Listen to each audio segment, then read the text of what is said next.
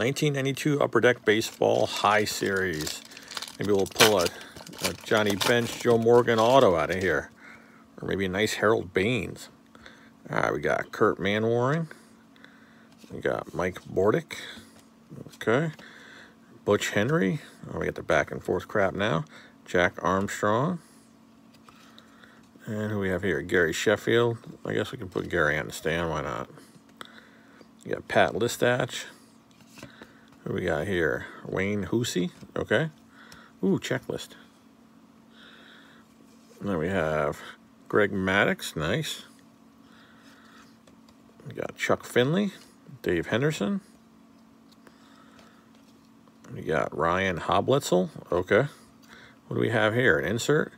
Best hitters in the game. Ted Williams, Will Clark. Okay, pretty cool. And we have Steve Sax.